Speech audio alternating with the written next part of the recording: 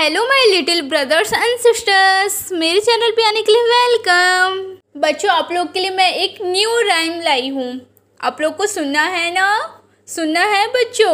Okay very good बच्चों। तो चलो बच्चों, आज मैं आप लोग को वर्क इज़ वर्शिप राइम सुनाती हूँ। सुनना है या नहीं बच्चों? सुनना है ना? तो चलो मैं आप लोग को बताती हूँ। और इसका हिंदी मीनिंग भी बताऊँगी। ओके बच्चों? Work is worship keep in mind the key to success dead be find बच्चों, आप लोग को अच्छी लगी राइम अच्छी लगी? ओके चलो फिर मैं आपको फिर से रिपीट करके सुनाती हूँ। Work is worship keep in mind the key to success dead be find बच्चों, अच्छी लगी? चलो, अब मैं इसका हिंदी मीनिंग बताती हूँ। वर्क इज़ वर्शिप का मतलब होता है बच्चों हिंदी में कर्म ही पूजा है। वर्क का मतलब होता है बच्चों कर्म इज़ का मतलब होता है ही वर्शिप का मतलब होता है पूजा है।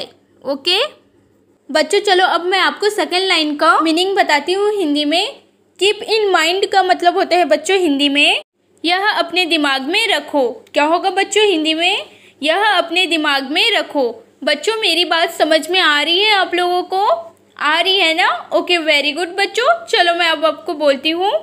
बच्चों फ़र्स्ट लाइन का हम हिंदी मीनिंग सीख लिए। सेकेंड लाइन का भी हिंदी मीनिंग सीख लिए अब लास्ट थर्ड लाइन का हिंदी मीनिंग सीखना है। तो चलो, अब मैं आप लोग को हिंदी मीनिंग बताती हूँ। The key to success that be find इसका मतलब होता है बच्चों, हिंदी में, कर्म यही कुंजी। कुंजी मतलब चाबी होते हैं बच्चों। कुंजी का मतलब चाबी भी होता है। कुंजी को हिंदी में चाबी भी बोलते हैं। ओके है जिससे हम आसानी से सफलता तक पहुँच सकते हैं। क्या बोले बच्चों?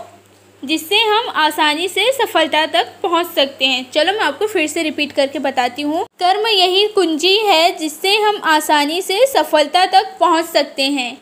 बच्चों, आप लोग को अच्छी लगी राइम आपको बहुत अच्छी लगी? ओके वेरी गुड बच्चों। चलो, आज तो आप लोग हिंदी और इंग्लिश दोनों में जान लिए हैं ना बच्चों? इसका मीनिंग लोग भी तो ओके बच्चों, आज के लिए इतना ही। मिलते हैं नेक्स्ट वीडियो पे। Bye bye good luck